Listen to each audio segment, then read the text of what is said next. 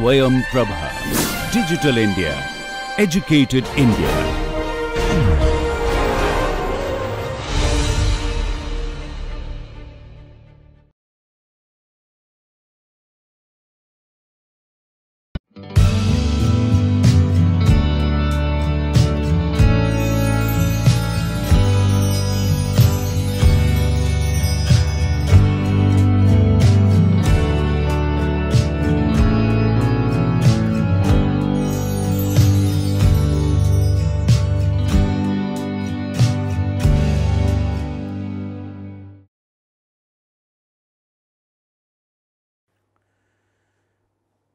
Hello and welcome friends to the second and concluding lecture on Iqbal.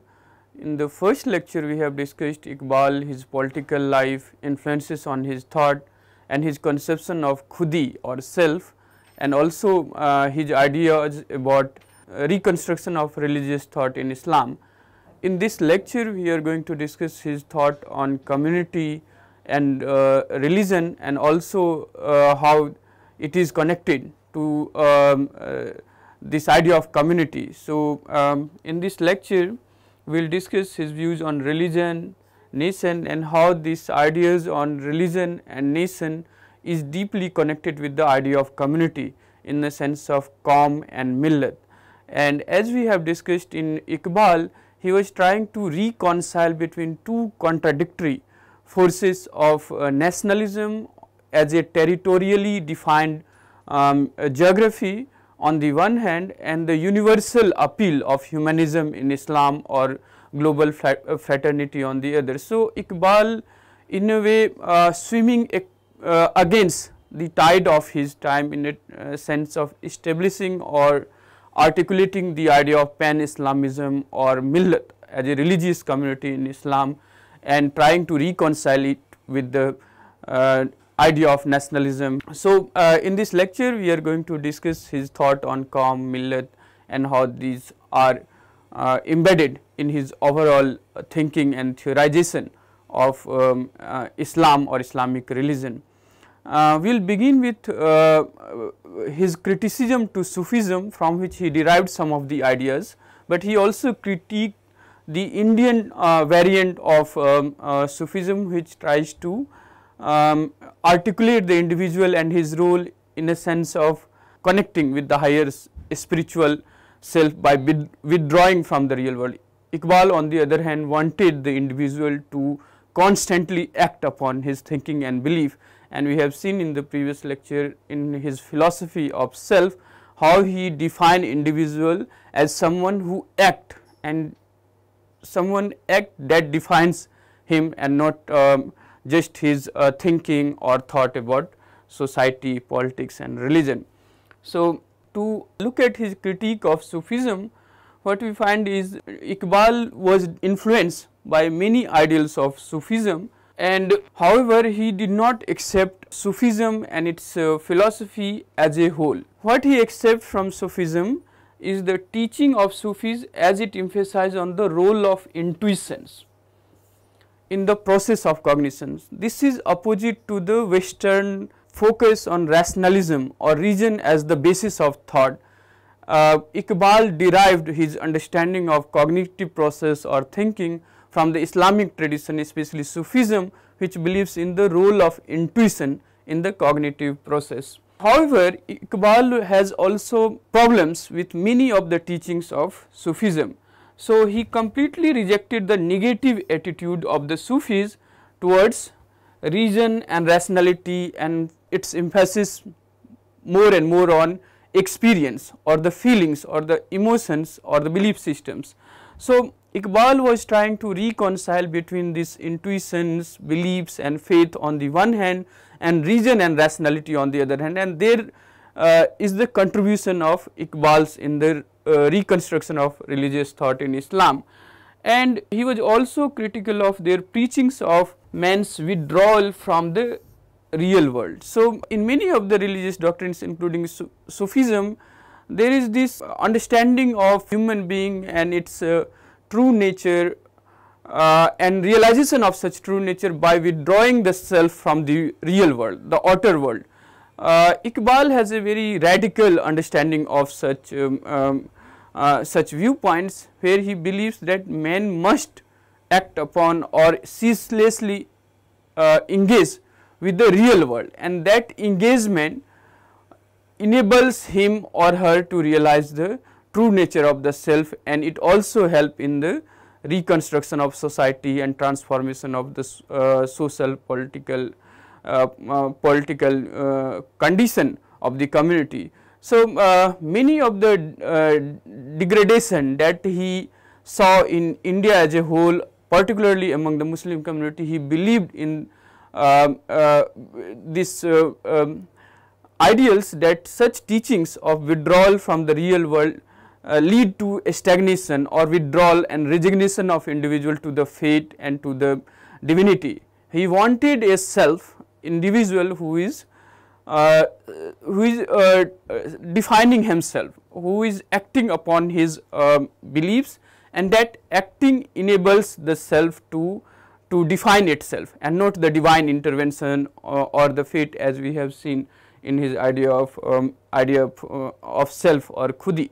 asrar khudi. So, uh, in Iqbal there is the um, um, deriving of certain ideals from Sufism, but also rejection of many of its negative teachings which teach the individual to withdraw from the real world. So, Iqbal believed that the mysticism of Sufi cannot contribute to the overall development of human personality and therefore, he want the reconciling between mysticism, intuitions or some religious doctrines uh, or principles in Islam with the modern rational or um, uh, logical arguments of uh, the um, uh, the modern continental analytical philosophy. So, he wanted to combine the two to uh, to redefine the notion of self the notion of self within the Islam and on that basis he also criticized the western conception of self and his uh, theory of politics or millat or qawm is defined by such um, such reinterpretation of Islam in the light of modern knowledge and thinking. If you look at his views on religion and Islam, particularly his uh, speech in Allahabad as a president of the Muslim League, he said that religion is a power of the utmost importance in the life of individual as well as for the states. Now, this point is crucial to understand the shift in uh, Iqbal from a patriotic uh, Indian nationalist to a supporter of separatist Muslim nationhood and gradually to a kind of pan-Islamic uh, thinker in terms of millet, uh, millat as a community of Islam as a creed. So, in his uh, whole um, articulation and thought process, religion becomes the basis, the very foundation of all his philosophy of self or community or nationhood or uh, uh, the pan uh, Islamic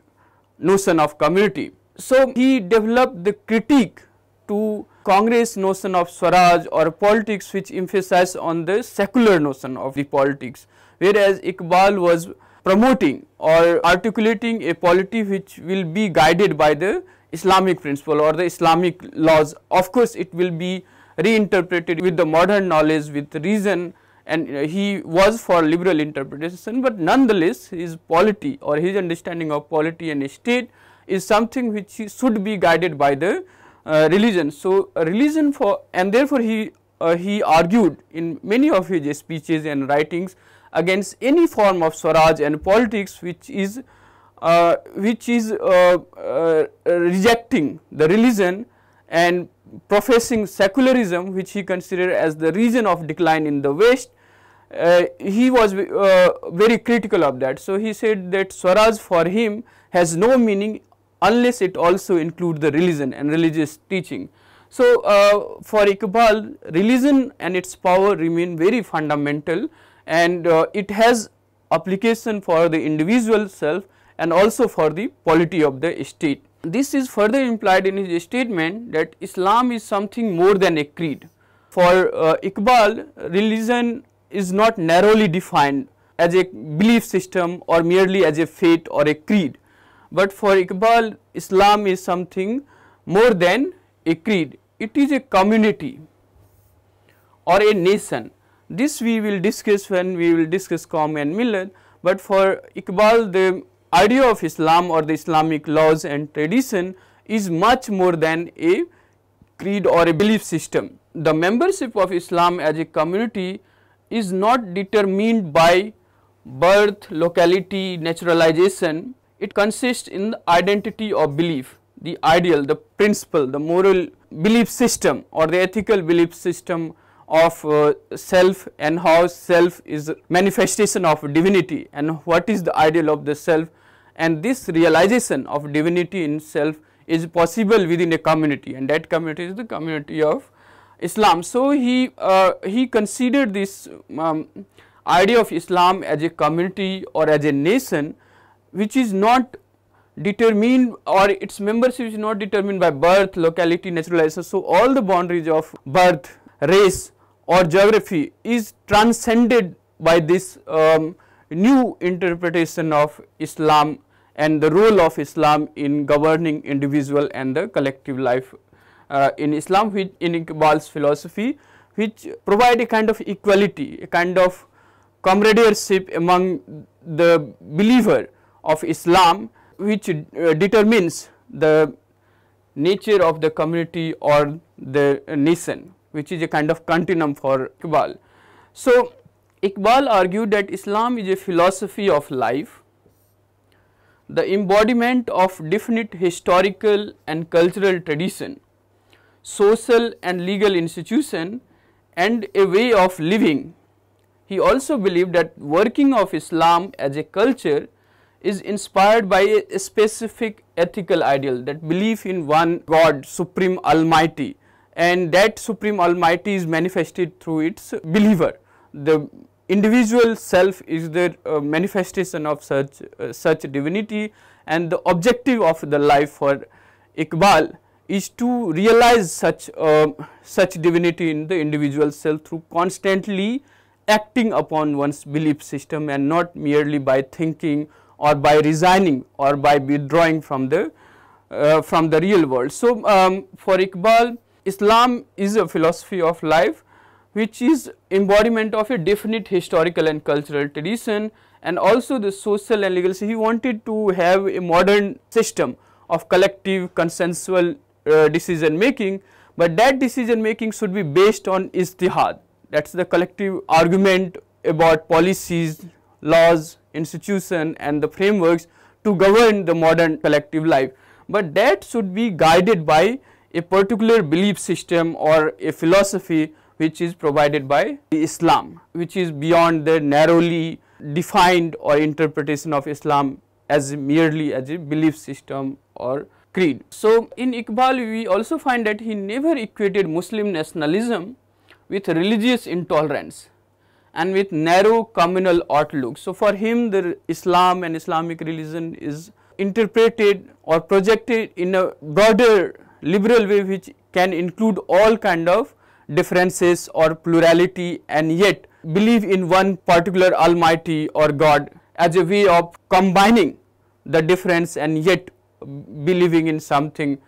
to which all agree despite of their different or plural characteristics. So, for Iqbal the definition of Muslim nationalism was not about religious intolerance or communal in outlook. He said that Islam does not bifurcate the unity of man into irreconcilable duality of spirit and matter. In Islam, God and the universe,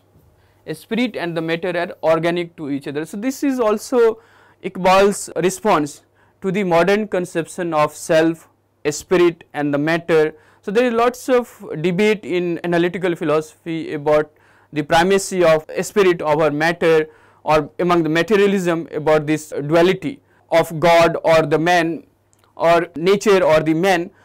Iqbal tries to uh, transcend such binary or duality by uh, explaining it as a kind of continuum, as a kind of constant ceaseless movement for acquiring new and newer uh, newer form or um, uh, or a spirit. So, in Iqbal's the idea of nation also is a kind of continuum. So, as an individual believer in Islam, one can realize its true nature or true meaning only in a community. That community of Islam can be either Qawm which is a nation or Millet which is a kind of Islamic community which encompasses all the national boundaries. So, in Iqbal there is a kind of constant unfolding of oneself from individual to the larger and to the still uh, still larger kind of thing. So, in such definition there is a kind of organic connection between each other rather than the duality or binary as often seen in many uh, uh, many uh, philosophy and uh, thought uh, thought process. So, Iqbal openly acknowledged that the reformation of Islam would serve the socio-political ends as well. So, in a sense Iqbal is not someone trying to preach the religious or the supremacy of a particular uh, particular form of worship or belief system. For Iqbal, uh, Islam is something much more than merely a belief system or a creed and he thought that if the ijtihad that we have discussed, the liberal interpretation or uh, per, uh, permitting the individual or uh, giving the permission to individual to uh, interpret the Islamic laws particularly liberally in their own um, um, in their own ways, then it can also lead to the socio-political ends as well and the social and the political policies can also be formulated on the basis of such liberal interpretation of Islam. Here it is also significant to note that Iqbal is also making a difference between the complete freedom or the free will to interpret ijtihad by the individual on the one hand and also submitting to the will of God on the other. So, this um, continuum from the liberal interpretation of ijtihad and submitting to the will of God in a form of community that is something also very unique to uh, Iqbal which is very distinct from the modern uh, western conception of atomistic self thinking and realizing its own self the way it thinks and act upon in an isolatory atomistic way. Uh, Iqbal is, uh, is conceptualizing the individual in connection with the community and that is something very uh, unique in his thought. So, he explained the need to reform Islam by citing progress of the development of social thought and science in the West. So, many of his ideas about self, the ego, the rationality, the role of logic comes from his engagement with the modern Western uh, uh, philosophy. So, he believed then that it is the duty of the leaders of the world of Islam today to understand that the real meaning of what has happened in Europe and then move forward with self control and a clear insight into the ultimate aims of Islam as a social policy. So, he believed that uh,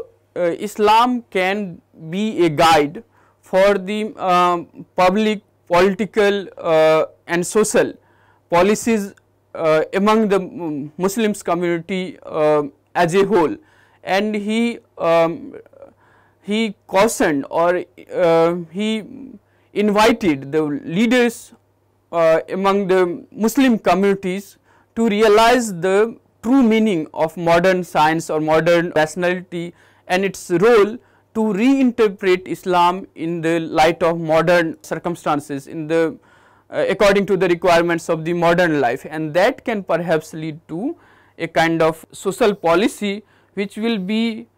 in continuation with the ultimate aim of Islam. So, the uh, religious embeddedness of uh, Iqbal remains very foundational even when he is trying to reinterpret Islam liberally or uh, the tradition of ijtihad. His ideas on khudi, the self, the qawm which is nation or nationality or millat which is the universal community on the basis of Islam. So, if you look at these notions in Iqbal, we find that the most significant contribution to political thought of Iqbal were these twin concepts of khudi which is self affirmation or ego and the millat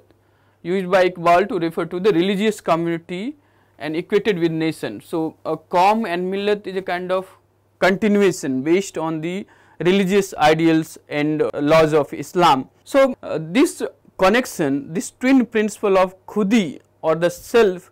on the one hand and the uh, notion of uh, millat or the religious community on the basis of Islam on the other is something which is uh, the contribution of Iqbal to political thought. So, what we find is that although he championed the need for the free development of the khudi or the self, the individual, he saw the need to counterbalance it with the concept of bekhudi. Bekhudi in Iqbal's use essentially refer to the force that brings the individual ego in line with the social and community ego. So, there is a kind of new interpretation by looking at the comparative traditions of uh, Islamic uh, tradition of self, intuitions and ethical moral principle on the one hand and the modern uh, western conception of self on the other. So, uh, uh, so Iqbal in his conception of individual where he focuses on this free development of individual um, in his notion of khudi or self, he also somewhat interpret or counterbalance it with this um, um, collective collective self or the role of community. So, the khudi the self can attain or uh, can uh, achieve or realize its own self in a community not in isolation from the community and not by being autonomous or uh, uh, free from the community and the um, uh, larger collective self. So, uh, so uh, in Iqbal's philosophy and writings and um, uh, works, we find a very delicate balance or counterbalance between the um, free will or complete free will of the self to develop itself on the one hand and also how he uh, he want that individual to submit to the collective ego or the ego of the community and that way he thought that individual can realize its own true meaning as prescribed in the Islamic laws and tradition. Here the use of term millet in Iqbal's philosophy is very interesting in a sense that the term is generally used in Quran this word millet which is also a form of community of pan Islamic community based on um, Islam or uh, belief in Islam, uh, this term he uh, he has taken from Quran where it refers to a religious community, but the interpretation he gave is along the line of modern polity where there was debate about League of Nation or the community of the nations or the global institution. In such a way he uh, propounded this idea of millat or pan-Islamism which he has taken from many other Muslim scholars and preachers. So, his interpretation of Islam as a polity led him to postulate that the individual ideally belongs to a supra-territorial community of believers, believers in one faith, one absolute being that he calls there is also a shift in this idea of community from qawm to millat. So, uh, he he also because of the immediate circumstances or the historical circumstances of his time supported this idea of qawm uh, or uh, that definition of qawm based on religion. So, therefore, he uh, championed the cause of separate statehood for uh, for Muslims in Indian subcontinent but he was not satisfied or in his matured philosophy he certainly talked more about a, uh, a millet and he uh, rejected the whole idea of nation and nationalism like, uh, uh like Tagore. So, there is a shift in his thought from uh, to millet. And what we find is that in Iqbal earlier emphasized on Islam as national community. And he articulated Pakistan on the basis of this homogeneity or similarity or a kind of religious gift to the Muslims in subcontinent which automatically or naturally enables them to form as a people, as a community. So, his idea of qawm as, as a national community, he emphasized in his earlier writings, whereas in the later period or in his later writings, he proceed to emphasize on Islam as a part of millet, which is a religious community of those who believe in the same God or who believes in the absolute of that almighty. So, he elaborated that the body and soul of Millet are composed of a belief in the unity of God and this very unity is the basis of unity of thought among the Muslims. So, the global community of uh, Islam as a millet is possible because of this unity in uh, in um, uh, a belief about the unity of uh, uh, the God. There is all there is one God that is absolute God, and that belief enables a kind of unity of thought among different races, different territorial communities or linguistic communities who may follow the Islam and yet they develop a similarity in outlook, in their thought, in their polity and uh, Iqbal gradually emphasized more on such idea of uh, millat as the true community or as a ultimate objective of Islam and the way he was trying to reinterpret Islam not merely as a religious doctrine, but also as a guide for the political community. So, Iqbal clearly visualized that Muslim as part of a wider nation that is a supranation not uh, uh, geographically or territorially defined nation of believers bound together by the teachings of the prophet and the message of the Quran. So, that is something which unite which uh, give a kind of similarity in outlook and in thought among different groups, different races, different geographies of uh, uh, the believers in Quran or the message of Prophet. So, therefore, we can clearly see a transition in his thought from Muslim nationalism to a pan-Islamic thinker or someone who supported the pan-Islamic unity. So, he as a philosopher however, never clearly separate the concept of religious community as a millet or pan-Islamism and the national community as a qawm and that uh, although he tried to distinguish these two concepts, he was not very consistent. It is because he stated Indian Muslims as a nation in his famous presidential address of 1930s but in his opinion this did not mean that any religious community constituted a nation. So, there is a kind of tension in this concept of Qawm and Millat, uh, Millat in uh, Iqbal's thought Here on the one hand he, um, he um, promoted or articulated the idea of Millat as the ultimate objective of Islam and all the nations of Islamic world should unite to form such, uh, such community and he began to write in Persian also because Persian is the uh, mean uh, mode of communication among the uh, Muslim Muslim world. So, uh, gradually he uh, he moved away from his writings in Urdu to a Pers to Persian writing and his intimate knowledge of Persian enabled him to conceptualize uh, such a world community of Islam on the basis of Islamic teachings and laws. But he also supported and promoted the idea of Pakistan on the basis of religion and so therefore the Qawm and Millet remain a kind of um, um, uh, inconsistent um, um, ideals or a kind of tension in Iqbal's thought and philosophy. So, uh, to understand this more we can take these two couplets from Iqbal and one can understand this tension of Qawm and Millet in his thought. So, he wrote it in this tension one can understand from this writing of Iqbal where he says, our essence is not bound to any place, neither is our heart of India or Syria or Rome. Rome here he is referring to Rumi, a mystic figure who profoundly wrote on the idea of self and uh, Iqbal was greatly influenced by, uh, by his uh, teaching.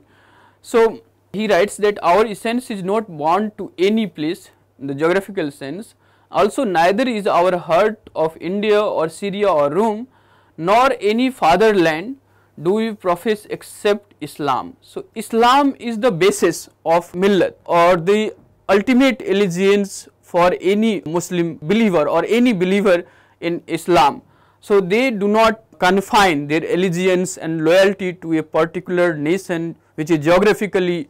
uh, or territorially defined, but something which is uh, religiously defined which is millat and therefore he wanted the believers to believe in such community of pan Islamic nations. So, further on we can find that China and Arabia are ours, so is India ours. We are Muslims and the whole world is our country. So, it is a kind of transformation in his thought about the role of Islam or how one can constitute a community of the world on the basis of Islamic laws or the Islamic principles. And therefore, for Iqbal, establishment of a Muslim state or a nation in Indian subcontinent was not an end in itself, but a means to achieve a higher goal by integrating the national identity with the world millat. So, he supported the creation of Pakistan as a separate nation, but that was not an end in itself. For Iqbal that was a means to achieve something higher, something superior that is the community of Islam, the millat. This understanding of millat in Iqbal was based on these two principles. One was the absolute equality of all the members of the community. So, there is no discrimination on the basis of race, language or the geographical uh, location or the territory. For him, uh, the absolute uh, equality of all members, the whole idea of fraternity or brotherhood, the true meaning in Islam becomes one of the founding principle of this idea of millat in Iqbal. So, absolute equality of all members of the community and B the love of God is absolutely supreme. So, the second principle of this millat is the will of Allah or will of God. So, therefore, in his conception of self also while he wanted the individual to define himself or herself yet should be willing to the uh, willing to submit himself or herself to the will of God or uh, the ego of community or the collective self. So, that is uh, something which uh, constitute his um, uh, his idea of millat as well which is based on these two principle one on um, this absolute equality of all the members of the community and the second uh, this belief in one God which is absolutely supreme. So, this kind of pan Islamism will bring about according to Iqbal a, a spiritual democracy and uh, this is something which is an alternative to the secular or the western modes of democracy and its beliefs in uh, this dichotomization of different spheres of life between polity, economy, uh, uh, polity, economy and uh, religion on the other hand and religion recedes to the private uh, private life. For Iqbal religion should be at the forefront of all all sphere of life and more so in the collective uh, collective life of the community. So, he believes that this idea of pan-Islamism will bring about a, a spiritual democracy which is the ultimate aim of Islam in which the many can become one without sacrificing their plural characteristics. So, this is his idea of pan-Islamism or millat where uh, all the communities despite of their different characteristic, different physical outlook, different um, uh, language, different races can form a solidarity, can form a um, brotherhood on the basis of these two principle and that can lead to a kind of spiritualized democracy which is the ultimate aim of Islam, the way he tries to use Islam for the political transformation in the community. So now to discuss about his views on nation and nationalism, we find Iqbal's critique of nation state and his call for political reorganization of India, where the result of his attempts to relocate the nation along the lines of religion. So for him, Muslims in Indian subcontinent is automatically then constitute a nation or a people which he felt was only way to secure the proper development of the individual. So, Iqbal's reformulation of the concept of nation and nationalism should not simply be understood as a reassertion of pan-Islamism and therefore, one needs to uh, deeply engage with these concepts of nation and millat in Iqbal. Uh, there is no kind of either or one in place of the other. There is a kind of continuum in his thought about uh, individual, the community in a form of Qawm and then finally uh, Millat. Iqbal, uh, who is also known as Allama Iqbal, rejected the ideology of nationalism and the modern nation state structure as they originated in the West. Like many other Indian thinkers such as Gandhi and Tagore, he was very critical of the colonial influence and the mere transplantation of western political ideas and institutions, Iqbal argued, would only serve to perpetuate colonial domination even after the decolonization. So, there is some kind of um, originality uh, and critique to the uh, blind imitation of western concepts and uh, ideals um, um, by many um, many leaders and thinkers in Indian subcontinent and like Gandhi and Tagore Iqbal was able to see that that even after the political independence if one disconnect oneself from one's own tradition one's own religion then perhaps the uh, it will lead to the perpetu uh, perpetualization of colonialism even after India attained the independence. So, he gradually developed a critique of nationalism and in his poem Khizr-e Rah that means the guided path where he also described the future of Islamic polity is a work in which Iqbal made reference to the political events which had shaken the Muslim world. He described western civilization and nationhood as the narcotics of imperialism which leads to exploitation of one nation to the other and uh, the idea of nationalism, the self-interest and uh, the perpetualization or maximization of self-interest uh, which leads to competition and ultimately to war and um, um, uh, and conflicts. Um, uh, Iqbal followed uh, or understood such such negative or destructive forces in western civilization and nationhood and therefore he criticized such ideals of nation, nationalism and statecraft as it emerged in modern West. So, Iqbal declared nationalism to be the greatest enemy of Islam, which prevented the formation of the global pan-Islamic community in the form of millat. So, writing to Sayyid Muhammad Sahid Aluddin Jafri in 1923, he noted that the export of the political ideals of nationalism into West had spurred him to write on the nature of true Islam. He stated that though he had been one of the first in India to call for a mutahida qawmiyat that is composite or united nationalism. So, unlike uh, Sir Syed Ahmad Khan, uh, he wanted Muslims in India to participate in all India struggle for political independence. So, he was uh, in the beginning in support of this composite or combined um, uh, nationalism he rejected such views as his idea matured and emphasized more and more on millat than on the idea of nation which he believes as a kind of enemy of Islam which prevented the formation of the global community of Islam. So, his study of Islam had led him to conclude that nationalism was not only incompatible with Islam, but it was a threat to the very principle of Islam which is about the realization of true God or absolute uh, belief in that God and that belief in God enables a kind of absolute equality among the members of uh, uh, members of the believers and he believes that the fragmentation of such believers into different nationality and nation is the per, uh, greatest threat to the um, Islam itself. So, to look at his uh, vision for Pakistan we find that his ideology of Muslim nationalism preceded, uh, preceded the spread of ideas of pan-Islamism which asserts the necessity of uniting on the basis of Islam irres irrespective of state, territory,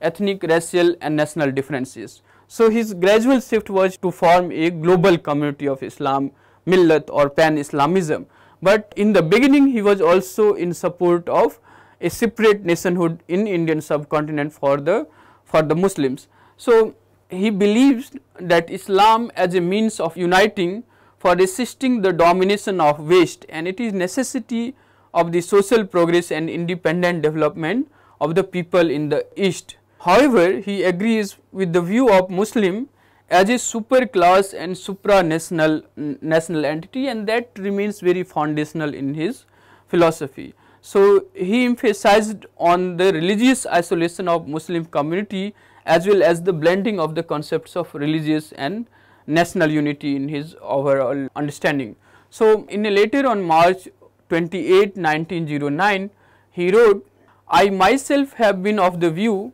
that religious differences should disappear from the country and even now act on this principle in my private life. But now I think that the preservation of their separate national entities is desirable for the Hindus and Muslims. The vision of the common nationhood in India is a beautiful ideal and has a poetic appeal. But looking to the present condition and the unconscious trends of the two appears incapable of fulfillment and therefore he supported uh, this uh, uh, combination of religion with the emerging idea of nation and uh, nationhood. So, from 1930s he arrived at the conclusion that his ideas of equality and freedom could be embodied only in the Islamic state. And that consequently the Muslims of India had no other option but to fight for the self determination and the creation of Pakistan. And that is how he becomes the spirit behind the ideals of Pakistan. So, uh, one can also find his uh, struggle with this idea of nation and nationalism and the role of religion in his ideal of nation and nationalism in his letters to Nehru. So, he writes nationalism in the sense of love of one's country and even readiness to die for its honor is a part of Muslim faith. It comes into conflict with Islam only when it begins to play the role of a political concept and claims to be the principle of human solidarity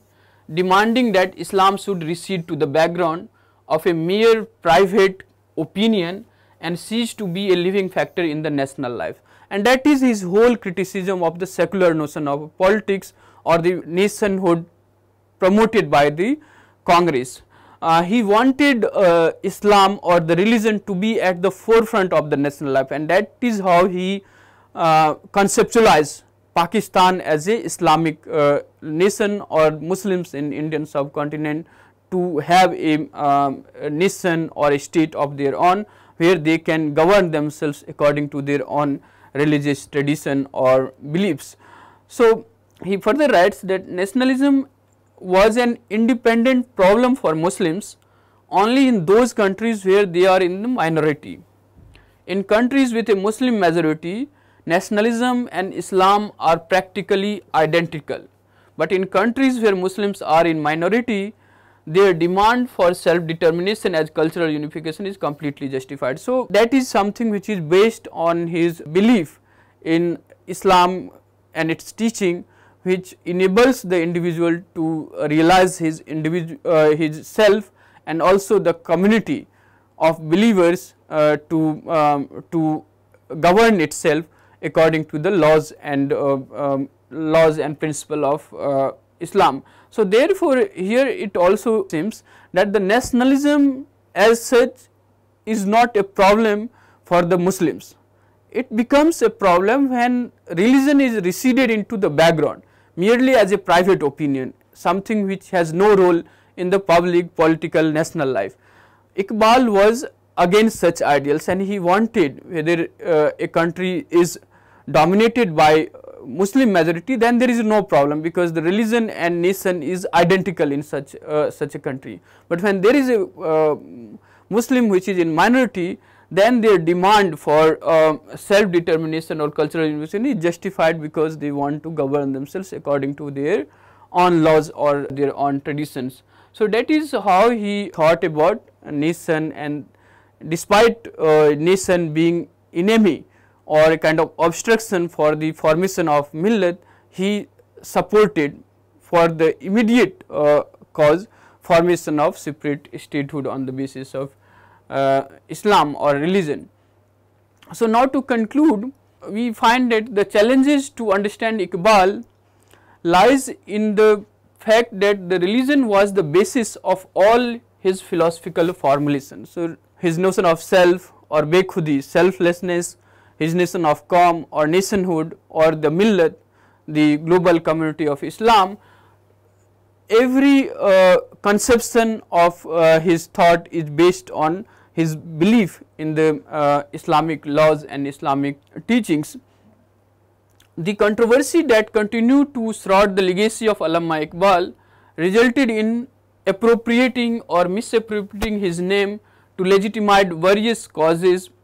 and socio-political stances. Championed by some as one of the chief founders of Pakistan, he continues to be heralded by others as the unfailing patriot of India and that is the controversial legacies of Iqbal whether he should be appropriated or projected as a national poet of Pakistan or as spirit behind the Shia dominated um, uh, Iran or as a patriot um, patriotic leader of India and there is uh, the contentious um, uh, nature of debates and discussion regarding the appropriation of Iqbal and his legacy. But in, in his thought we see uh, the emphasis of uh, emphasis on religion and uh, embeddedness of his religious thought on his philosophy of self and the uh, community and and his gradual um, gradual movement towards the ultimate objective of realizing a community of the world beyond the limitations of uh, geographically defined national territories be it India, Pakistan or, uh, or Syria or any other countries. So, there is this problem in appropriating or misappropriating Iqbal. The importance attached to appropriation of Iqbal legacy is attested to by the fact that both Nehru and Jinnah have in their respective writings claimed the support of Allama Iqbal. Even Rabindranath Tagore remembered on his death, um, uh, he wrote that it is it was a great loss for uh, for India because of his um, uh, teachings and his appeal not just to a particular nation but to a global uh, global humanity and the human ideals in Islam he is perfectly articulated in his conception of millat. So, interestingly attempts have been uh, made to appropriate the figure of Iqbal in support of political demands outside of South Asia as well. So, indeed Iqbal was a prophetic and visionary political thinker which helped in shaping the Muslim renaissance in India or Indian subcontinent along with Sir Syed Ahmad Khan as we have discussed in the previous lecture his comparative approach that is his understanding of Hindu as well as the Muslim tradition on the one hand and Muslim Islamic laws and teachings on the one hand and western philosophy on the other enabled him to criticize western philosophy in the light of Islamic traditions and teachings. At the same time he also argued for the liberal interpretation or ijtihad of Islam or Islamic law in the light of modern knowledge and rationality. So, there is a kind of two way movement in his uh, thinking, in his philosophy, where he respond uh, to the decline of um, uh, waste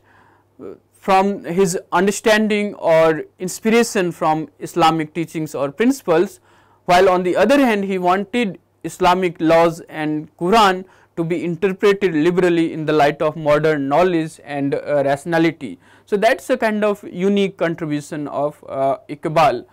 Iqbal's works are often read as a spirit behind the formation of Pakistan, which is not completely true.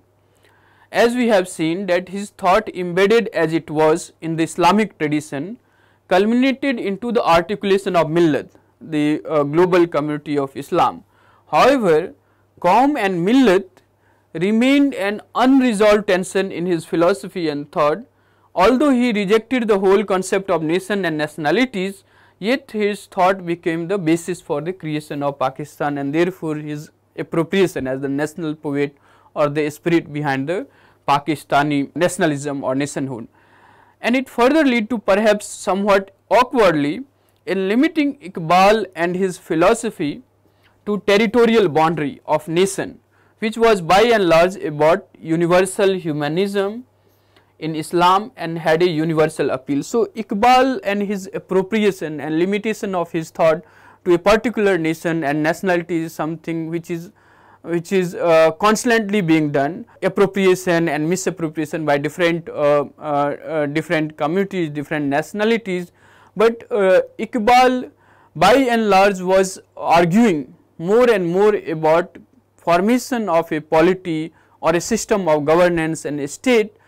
which is guided by the Islamic laws and Islamic principles and which helps in the realization of the objective as enshrined in, uh, in Islam which is uh, basically on the basis of this twin principle of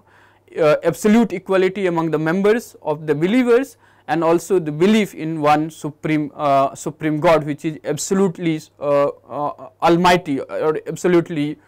uh, supreme. So it's very easy to limit him as a thinker of a particular nation but uh, the contribution of Iqbal is to reinterpret uh, Islam and to enable it or to make it relevant for the modern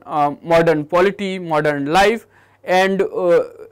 rescue it from the religious dogmas and the conservative interpretation of ulama by enabling the individual